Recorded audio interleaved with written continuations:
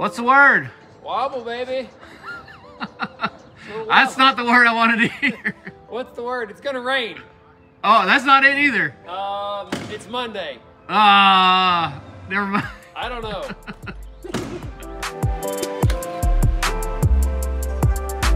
It's Monday morning. We're back on site. Wow, there's a big tree down there. Um, glad that didn't hit the house.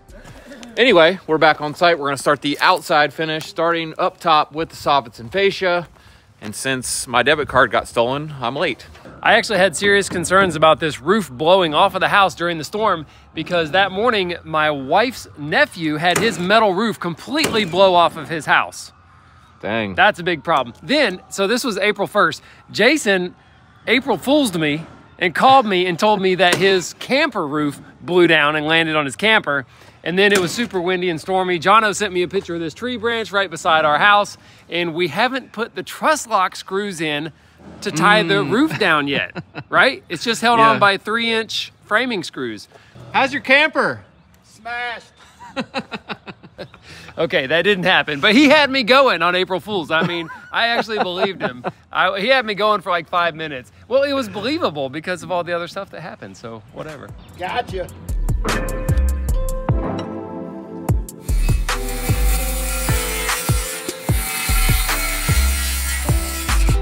May look like Jaime's making like a mattress sale sign, like side of the road, spin your sign kind of thing, but that's a real piece of blocking.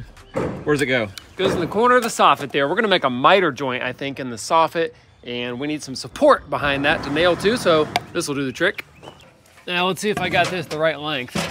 Since the corner I measured to is missing, so.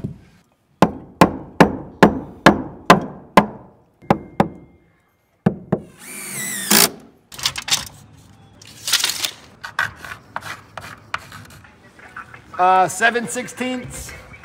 No, there's one above Eric's face. One. Dude, this thing seriously weighs like 15 pounds. I know. I think my shoulders are bigger already. We decided to go ahead and do all this cross blocking for the soffits. We're gonna use the LP SmartSide 16 inch wide soffit material. And I don't know if it's necessary. I don't know if it can just span the 16 inches. I know we need to do it at the butt joints. Yeah. But we just decided to do it everywhere. Hey, perfection. It's what we are. Well, no. They don't know that. Got something in the mail for you. what is that? Squ- Squidjig A who? from a guy named Alex who I have no idea who it is, but it's got your name on it. What? Must be yours. Wow. What is it? Yeah, you got one for me in the truck there? Yeah. It was just me. Hmm. Your bubble's slow. Wow, your bubble's so slow. Be like, hurry up. Is it level? Hang on a minute.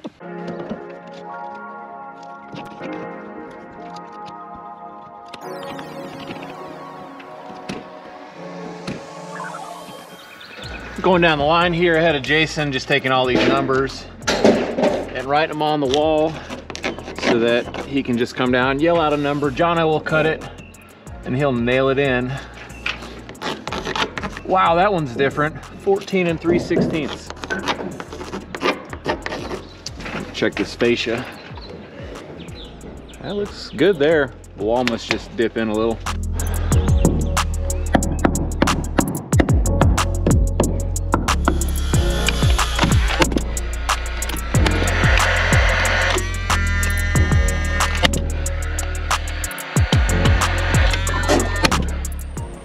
Seven years he's been driving, and I almost didn't recognize him because he didn't have his sunglasses on. I've This never seen your eyes. First time. right on. Right on. I'll remember this moment forever. it isn't sunny though. That's It's really- cloudy today. It's really weird. Here's the deal. We're gonna have to use some air-powered nailers, pneumatic nailers, to put our siding and trim on. And we don't have an air compressor to use except that tiny little one that makes the most awful sound you've ever heard, and I can't stand the thought of listening to it here at the job. So I got this Makita, and I'm only hoping that it's going to sound like a kitten purring. have you you heard one, right? I see one on your collar. When the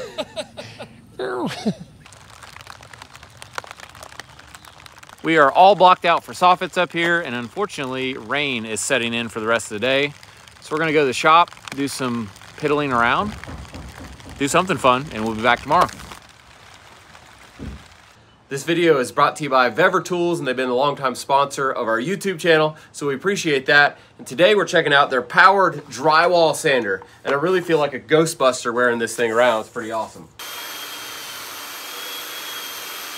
This sander has 900 watts of self-suction power and it makes it efficient at collecting up to 90% of the dust, which is super important if you've ever done drywall. It is messy and it's really important to collect most of the dust you can get while you're doing it so you don't have a huge mess later.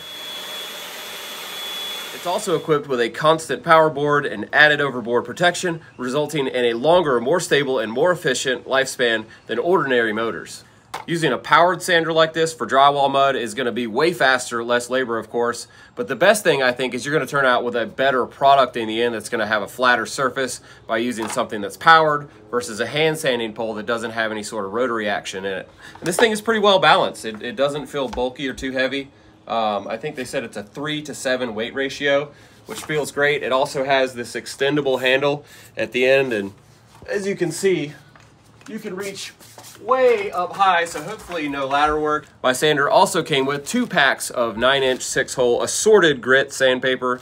And that'll last me for a while. And the reason I really wanted this tool is not for sanding drywall, it's for sanding primer for us. Because when we paint, if you don't go back and sand the primer after, and then you go paint, it's gonna look terrible forever. So that's one of the very labor intensive things that we have to do in the finish out every job.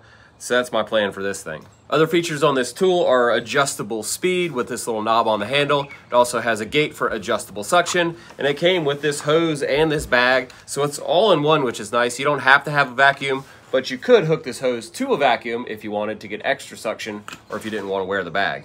And like all of VEVOR's tools, the sander is a great deal. If you're on a budget, it's only $105.99 regularly. But if you click the link in our video description and use the code VVPRO, you can get 5% off of that. So make sure to check it out. Thanks again to VEVOR for sponsoring our video. Let's get back to work.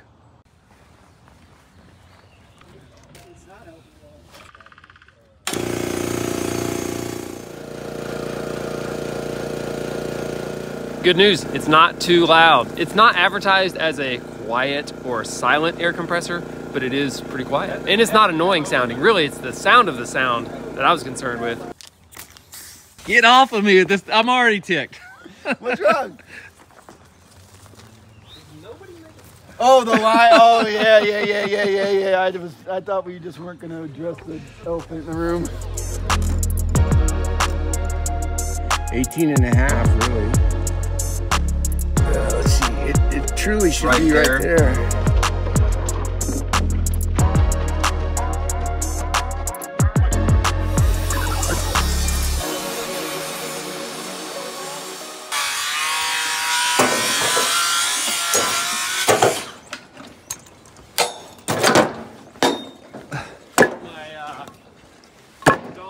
All set up for our first bit of fascia here, and Jaime's making us prefab outside mitered corners with short legs so that they're easy to maneuver. We'll get a perfect corner.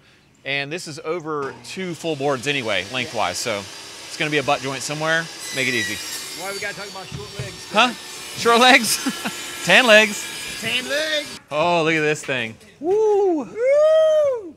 I'm good there. Oh. I'll shoot there.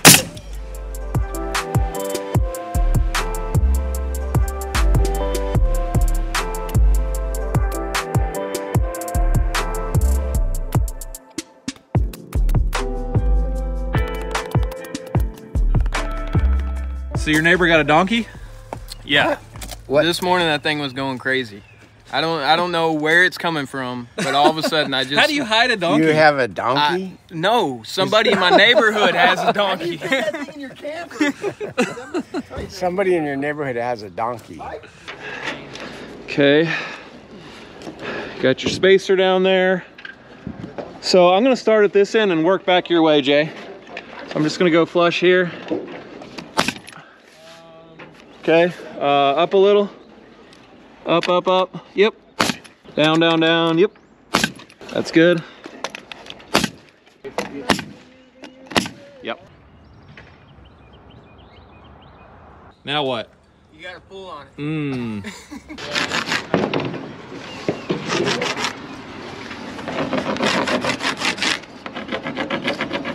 That'll make it easier. Um, I'm pretty good on gap here.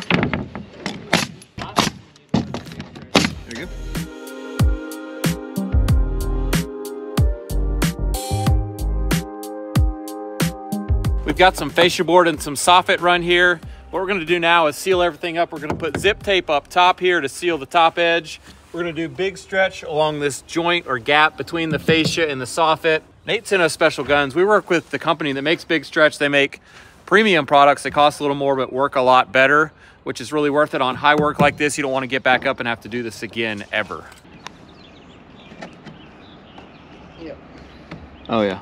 You know I'm putting a lot of trust in you doing that caulk job up there, right? I mean, how hard can it be, bro? Really? Well, ah! Don't worry, Ray's not staring at you right now. We're spacing with a GRK screw that's about 3 16ths. You could also use like your speed square, that part of it's 3 16ths usually. And that'll give us room for our sealant, big stretch, and that'll also give room for these to expand and contract a little bit without wanting to buckle. Why is that train going like right now? Come to me. Yep.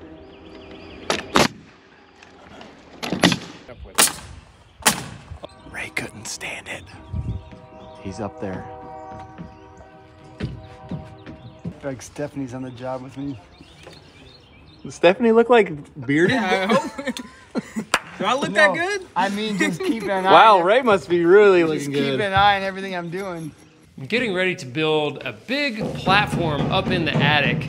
I even had special trusses designed and built to accommodate the heating and air conditioning equipment up there because of all the webbing in a normal truss. There just wouldn't be a large enough open space uh, for the equipment to sit in. Uh, but it's just large enough to have the platform for the equipment and a workspace for anybody that's going to service the equipment. That's the purpose of this platform, so they don't have to walk across the edges of the joists and hope that they don't step on the drywall and fall through the ceiling, which happens all the time, actually. Even Jason did that.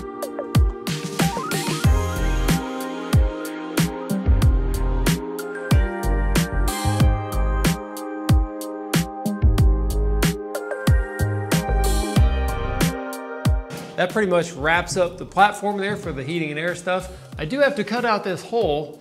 I've decided I'm gonna take a drill bit and pilot the four corners from the bottom, just drill through, and then I can actually draw a line around the top and cut with a skill saw. That'll make it a lot easier for me, I think. Well, I hope you guys enjoyed doing that platform because I think you got to do another one. Yeah. Exactly like that one. I was trying to think of the word uh, deja du plex. That's what I'm having. I think it's a all right. condition. All right. I think it is a condition. We don't like to brag much, but Jason was pretty proud of our miter joint here and how just perfect it turned out. How'd we do that? Um, so we didn't just assume that the house was totally square. We didn't just take a long number and then cut a 45 on it. We actually took numbers long and short. And Yep. what Eric did is on this other piece is he took a scrap and made marks on where they're going to be. Because if we just went to the edge of the house, That's not it. it's not it. So you got to make sure you mark and measure where that piece is going to stop. So we did that on both pieces and it came out awesome. I don't want to brag, but that I might mean- be on how you do that. That's how to do it. I don't want to brag, but we pretty much are the best.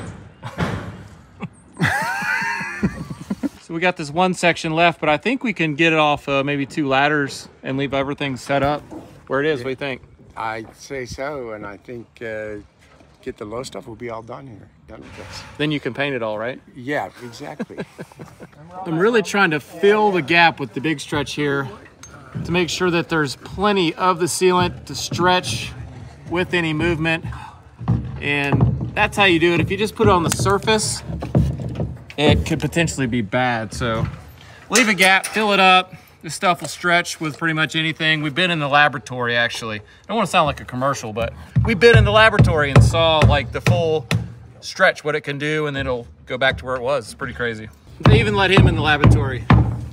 smells great, dude. Everyone's in a great mood. They're like, Windows. That's a nice house on that truck. Look at that thing. Wow. She, uh, This is like a big empty truck. You got a truck that'll do the job right there. Right?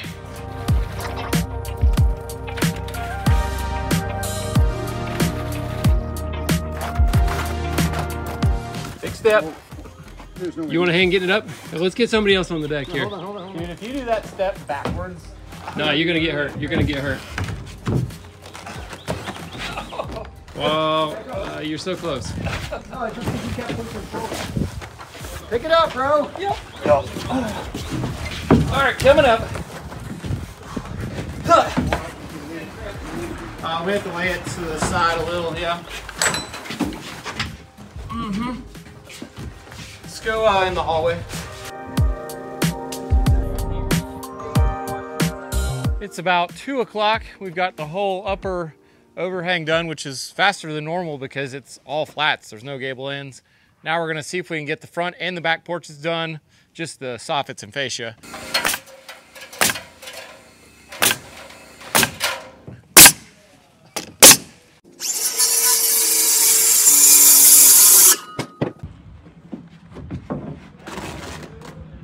Bubble level on my speed square here to double check my 412 is plumb.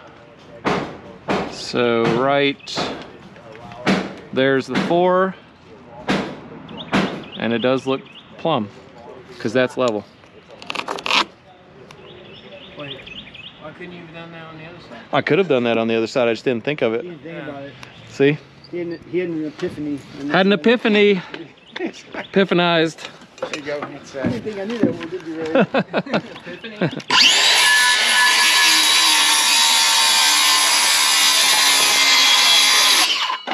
Oh, that was nice. I guess just butt yours and run to me. Oh, button run. Little button run. A little button run. Do you think we need to notch around this? Yeah, yeah, little button run. Hey, you know, you'll see that on Big Job. You'll see that on Job. That's big. Little button runs. It's 10 times. 100 It may be small, but it's mighty. and a half long, 109 sixteenths. I'm about an eighth off already. Yeah.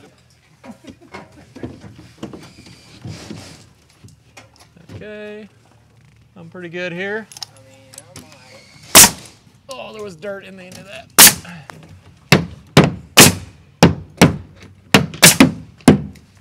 You mind to pick that ladder up for a second, Jay?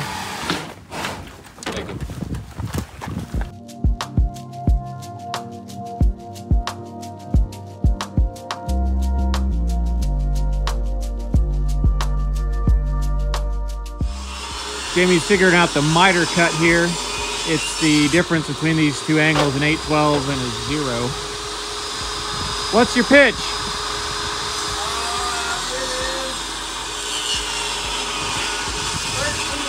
The 13 degree cut will be the miter.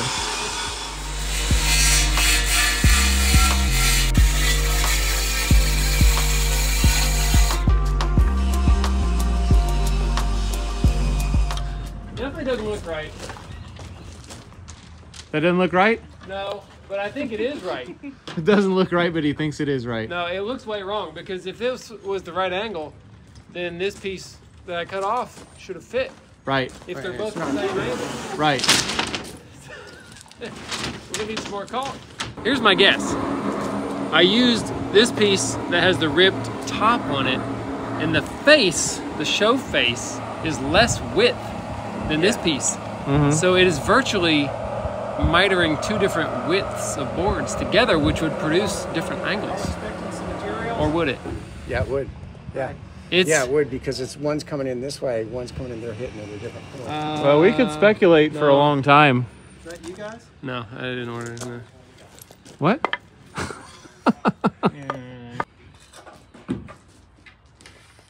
I see that it worked out. It did. I What guess was I the got deal? lucky. Here's the deal. The total of the two angles added together equals 34 degrees, which is An 812. 812. So Yeah. 812, those two angles add up correctly. Okay.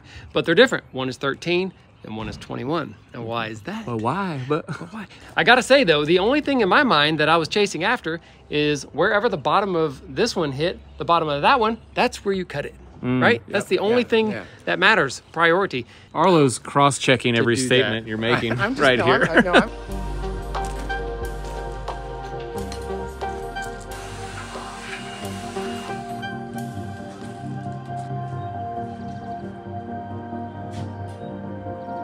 Did you figure it out? No. You gonna blow my pouch out? You want to get? Yeah. Want to get blown? I don't think you can say that, but yeah, hit me.